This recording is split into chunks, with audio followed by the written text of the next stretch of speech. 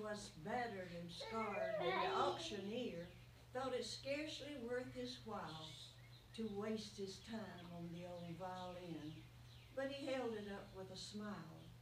What am I bid, good people, he cried, who started the bidding, who'll start the bidding for me?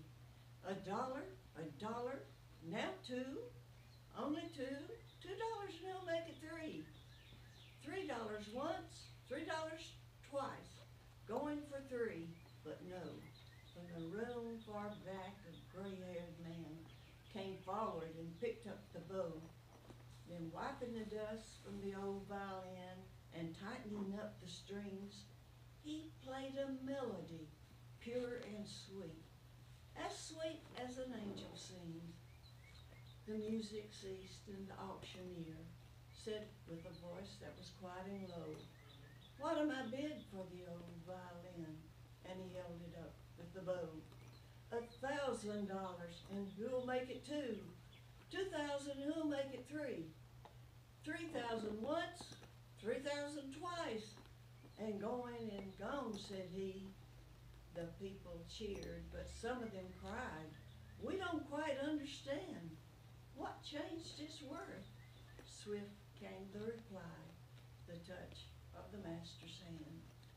And many a man with heart out of tune, that is battered and scarred with sin, is auctioned cheap to a thoughtless crowd, much like the old violin. A mess of pottage, a glass of wine, a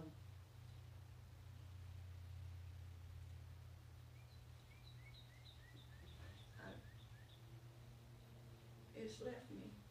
That's okay, that was beautiful. It's That was so beautiful. beautiful. A mess of pottage, a glass of wine, A game or two and he travels on. and, A game or two and he travels yeah, a on. game or two, and he travels on. He's going once, he's going twice. He's going, and he's almost gone. But the master comes, and the foolish crowd never can quite understand the worth of a soul and the change that's wrought by the touch of a master's hand.